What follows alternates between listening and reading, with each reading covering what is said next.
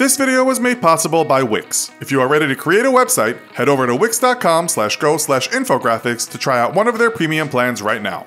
Ever gotten a strange look while on holiday?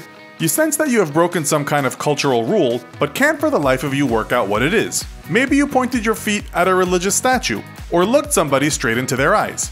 Today we'll look at things that Europeans think are perfectly normal, but the rest of the world thinks are ridiculous. In this episode of the Infographic Show, European behaviors considered rude in other countries. In parts of the UK, it's okay to turn up at a friend's house and just let yourself in through the back door, perhaps without even knocking. That sort of behavior could land you in hot water elsewhere in the world. Most Europeans leave their shoes on when entering a house or religious building. This is considered to be extremely rude in Southeast Asia, where shoes should be left outside the home.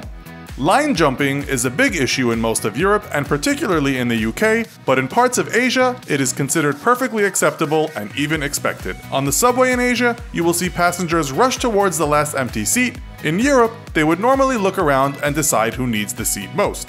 It is okay to sit with your feet up in most of Europe, whereas in most Buddhist countries, this is considered deeply offensive. The feet are considered a dirty part of the body and should be out of sight most of the time.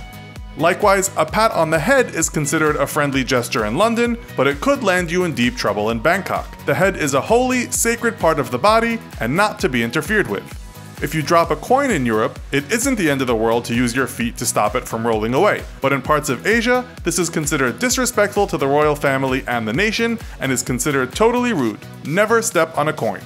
Nudity is considered acceptable on most of Europe's beaches, with women often sunning themselves in their birthday suits. In parts of Asia, America, and the Middle East, this could get you locked up.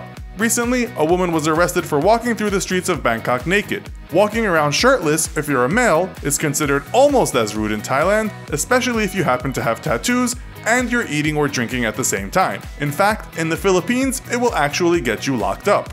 The Japanese also dislike the walking and eating thing, although the younger generations seem to be cooler with it.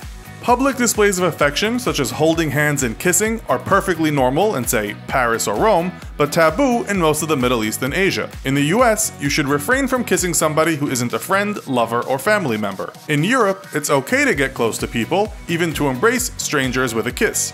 This is taboo in most other countries.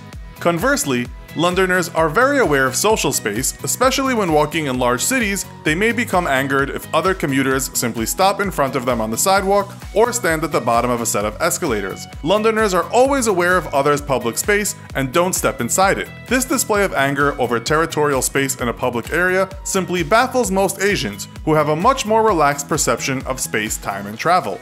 Europeans consider it very rude to enter an elevator before first letting the people inside exit. In Asia, they do it all the time. Americans are sticklers for please and thank yous, whereas in Europe, lack of polite particles are often overlooked and accepted. In London, the punk group the Sex Pistols openly mocked the royal family. That sort of behavior would see you behind bars in many countries. Also, television comedian Rowan Atkinson openly mocks the eccentricities of his own countrymen, which is something that could put you in hot water in other parts of the world.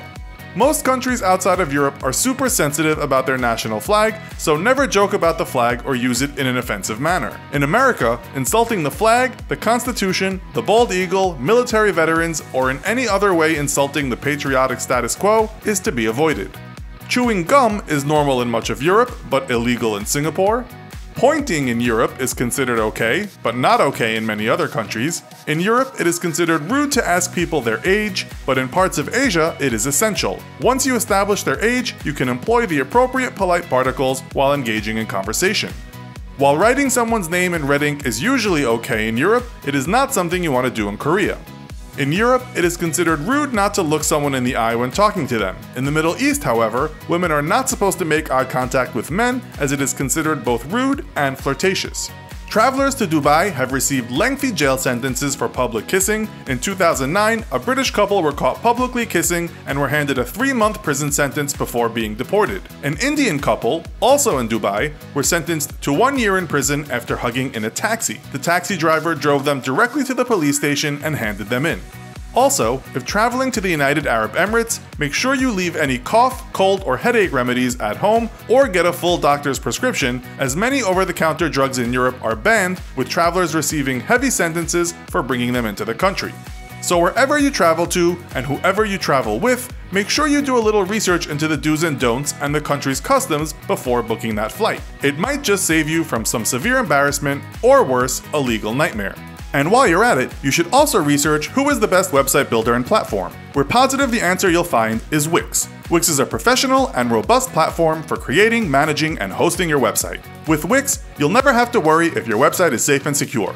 Plus, Wix offers you true creative freedom when designing your website. If you want to build a UFO sighting website, Wix has a solution for you. If you want to start a UFO fan club, Wix has a solution for you as well.